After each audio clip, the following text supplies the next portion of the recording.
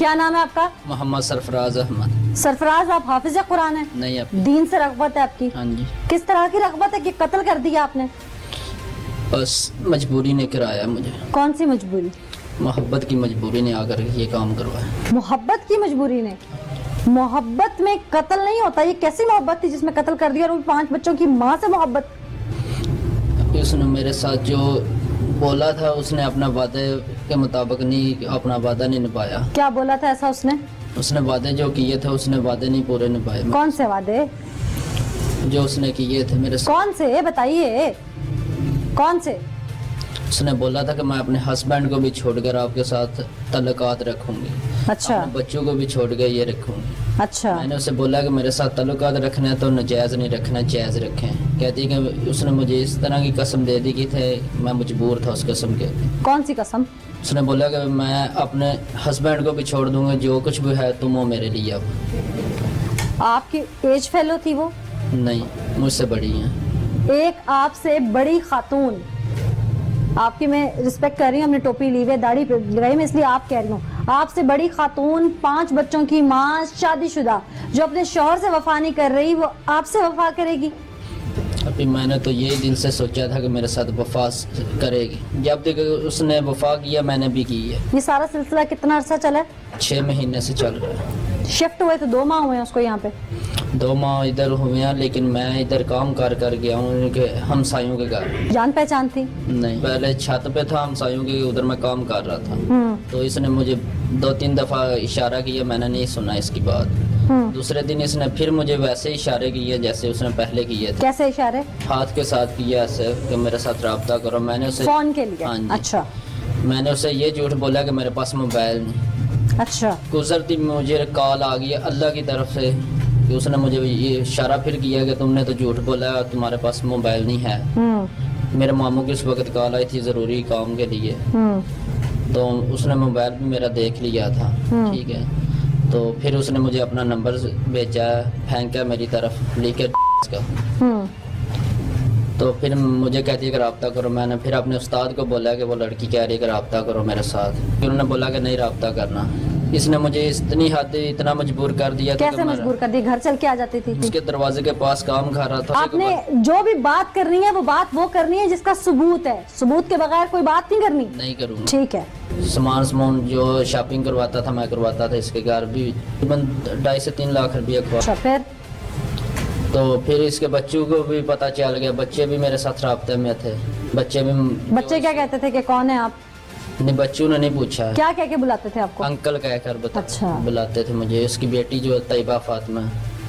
तैयबा? नूर है और तैयबा फातिमा जो ये मुझे अंकल कहकर बता बुलाते हैं। ठीक है। इनसे जो बड़ा बेटा उसने भी दो तीन दफ़ा मुझे मेरे साथ मुलाकात की है।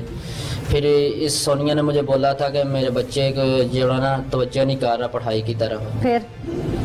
फिर इसने बोला कि मेरे हस्बैंड से बात करो आप। मैं फिर कह रही हूँ कि मेरे साथ अफसानवी बात नहीं करनी। नहीं आप ही कर। जो हकीकत पर मबनी है वो बात करनी है क्योंकि मैं वो क्रॉस चेक उसने जो मेरे साथ वादा किया मैंने वो वादा अपना पूरा किया। क्या वादा? कि अगर मैंने बेवफाई तुमसे की मुझे बेशक जान से मार देना। अगर तुमने की मैंने बोला कि तुम मुझे मार देना। मैं हाँ ये हकीकत में बात है। कुरान पाक में ये फैसला हुआ था हमारा दोनों का। कहाँ बैठ के कुरान पाक को बीच में ले आए थे पाक किताब को? उसके घर उसके घर। उस दिन जब उसे मिलने गए तो क्या कोई मुलाकात का कह के गए कि मुलाकात करनी है? नहीं। फिर? मैंने कॉल की है इसने बोला कि मैं गा रही हूँ। मैंने बोला कि क्या कर रही हूँ? कहती है कि मैं कपड़े डाल रही हूँ छत पे। हम्म। तो मैंने बोला कि मैं आ जाऊँ। कहती है कि नहीं बच्चे गा रहे हैं। बच्चों को भेज लेने तो फिर आ जाना। हम्म। मेरे जाने से पहले इसने बच्चे को भेज दिया अपनी नानियों के घर सब बच्चे चले गए इसके पास वो छोटा राफे था। मैं गया हूँ मेरे साथ उसने बात की है सलाम दुआ की है हम बैठे हैं। तो साथ ही इसकी सहेली की कॉल आ गई बाज़ार से व्हाट्सएप पे। बुरखे गया मैंने इससे दावत दी थी कि बुरखा लेकर जाना है जिधर भी जाना है बाहर निकलना है बुरखे में निकलना है। नमाज़ में भी सिर्फ़ पाँच वक्त का मैंने नमाजी किया था। जानी बना के नमाजी बना रहे थे? फिर जब इसके घर मैंने आकर पूछा इसने मुझे नहीं बताया। जब मैंने वार किया पहला इसने कहाँ वार किया था? गर्दन में किया। अच्छा।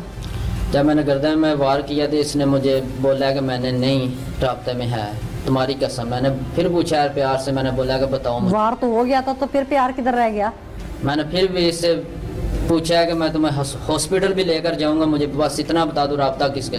कह दिया तुम्हारी कसम मैंने किसी के साथ रबता नहीं किया उस वक्त कितना चाकू लग गया हुआ था? थोड़ा सा लगा था खून थोड़ा सा निकला। फिर मैंने वार किया इसे जान से मारा। फिर जब मैंने इसे जान से मार कर इसके पास तसलीस जब इसकी सांस खत्म हो गई तब मैं इसके घर से निकला हूँ। ये मोहब्बत थी या गुस्सा था?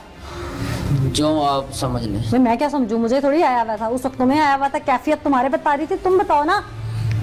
ये गुस्सा ही था समझ लें ये गुस्सा था? हाँ उस दौरान मोहब्बत नहीं आई? उस दौरान मोहब्बत तो मोहब्बत कब आई फिर? मोहब्बत पहले आई थी उस पर जब मैंने उससे पूछा। हाथ कब बांधे थे? मुँह कब बांधा था? जब मैंने पहला वार किया उससे पूछा उसने नहीं बताया। दूसरा वार किया उसने बताया नहीं फिर भी। भागी नहीं बाहर की तरफ़? नहीं भागी। इसने इतना मुझे बोला कि मुझे बाहर जाने दो। मैंने बोला इधर बैठ जाओ बस। मेरी जो बात है मेरी बात मुकम्मल करो। फिर जिधर मर्ज़ी है जाना मैं तुम्हें नहीं रोकूँगा। फिर? फिर इसने बताई अपने बारे में ये मेरी बहन ने मुझे बोला सुमेरा तो हाथ कैसे बांधे? वो तड़फी नहीं आगे से? नहीं तड़फी नहीं है। हाथ कैसे बांधे? जब वो उठकर बाहर की तरफ़ कहती है कि मुझे जाने दो मैंने उस वक्त उसके हाथ बांधे हैं फिर मुँह बांधा है। क्या हाथ कोई आराम से तो नहीं बंधवाए होंगे? उसने पकड़ के फेंका होगा नहीं उसको फेंका भी नहीं। उसने खुद ही आराम से बनवा लिए थे।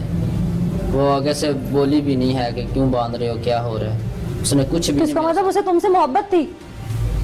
मुझे नहीं पता। अगर उसे मोहब्बत होती तो वो तीसरे के साथ तो हाथ कैसे बंधवा लिया उसने? किसी बंदे को तो मुर्गी जिबा करते हैं ना। कितना तड़पती है। तड़पती है देखा ना मुर्गी वाले के पास? एक इंसान के तुम खंजर फेर रहे हो और वो आराम से हाथ बंधवा रहा है। हाँ जी। उसने कुछ भी नहीं मुझे बोला बाद में। उसने खुद ही आराम से हाथ बंधवा लिए। मैंने उसे बोला कि हाथ आगे करो। उसने हाथ किया ऐसे आगे। मैंने बांधे उसका फिर मेरे इल्म में ये बात आई है कि जिस वक्त उसे कत्ल करने लगे थे उसके शोहर को कॉल की थी कि मैं मारने लगा हूँ बचा सकता है तो बचा ले। नहीं मैंने ये नहीं बोला। मैंने जब कत्ल किया ना उसे उसके दस मिनट बाद मैंने उसके शोहर को बुलाया। बुलाया है या कॉल की है? कॉल की थी। क्या कहा कॉल? उसके नंबर से ही की है कॉल। क्यों? अगर तुम्हारी बीवी का कत्ल हो गया बचा सकते हो तो बचा लो। कत्ल हो गया तो कैसे बचा सकता? कॉमन सेंस की बात है। मैंने इतना बोल के उसे कॉल काट अलैक्म जी। वालेकुम क्या नाम है आपका? मिर्ज़ा चाँद आपकी भाभी को जिसने कत्ल किया कत्ल करने के बाद जो वो बातें कर रहा है ये सारा क्या मामला है? आप जरा तफसील से मुझे बताएँ। ये मामला इस तरह से है कि हमारी वो बापी नहीं थी मेरी तो वो माँ थी। बिल्कुल। तो नेक अतून थी पाक दामन थी इस दुनिया से अब चली गई अल्लाह ताला उनकी मफरत करे। मैं उनको शहीदी कहूँगा सबसे बड़ा यही सबूत है कि वो अपनी जान और माल और इज़्ज़त की हिफाजत करते हुए इस दुनिया से चली गई हैं अपनी जान का नजराना उन्होंने पेश कर दिया है ठीक है कोई डकैती का मामला हुआ था डाकू बन के आया था ये घर में क्या मामला क्या था ये ये कोई जानने वाला था रिश्तेदार था आपका ये घर में केले समझ के उसने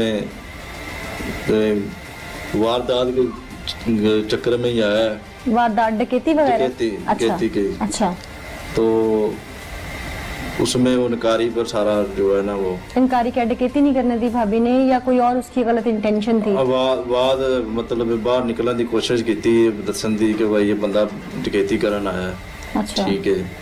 ਤੇ ਉਹਦੇ ਬਾਅਦ ਉਸ ਬੰਦੇ ਨੇ ਉਹਨੂੰ ਮਾਰ ਛੜਿਆ ਕਿ ਬਾਹਰ ਗੱਲ ਦਾ ਪਤਾ ਨਾ ਲੱਗਿਆ अभी जो वो मुलजिम आपका जो गुनाहगार भी है जिसने आप लोगों के घर में सफ़े मातम बिछा दिया है वो जो कुछ कह रहे हैं नजायज तल्लुकात की आवाज़ उठा रहा है इसमें क्या सदाकत है ਇਹ ਬਸ ਗਲਤ ਅਹ, ਗਲਤ ਬਿਆਨੀ ਕਰ ਰਹੇ ਆ ਤੇ ਜੇ ਸਦਾਕਤ ਹੈ ਕਿ ਉਹ ਕਤਲ ਕਰਦਾ ਹੈ ਕਤਲ ਕਿਉਂ ਹੀ ਹੁੰਦੀ ਮੇਰੀ ਮਾਂ ਜਿਹੜੀ ਹੈ ਮੇਰੀ ਭਾਬੀ ਕਤਲ ਹੀ ਜੇ ਕਿਉਂ ਹੁੰਦੀ ये रिश्तेदार है आप लोगों का मुलजिम नहीं कोई रिश्ता नहीं है कोई बात नहीं मोहल्लेदारी है कोई किसी किस्म की तो ये कहाँ से मोहल्लेदारी आया? है। पता नहीं कहाँ से ये आ गया मेरा वास्तव चले तो मैं इसको खुद जोन सा ना कत्ल करूँ, चौक मेरा। टोटे टोटे मैं करूँ, मेरा बस चले।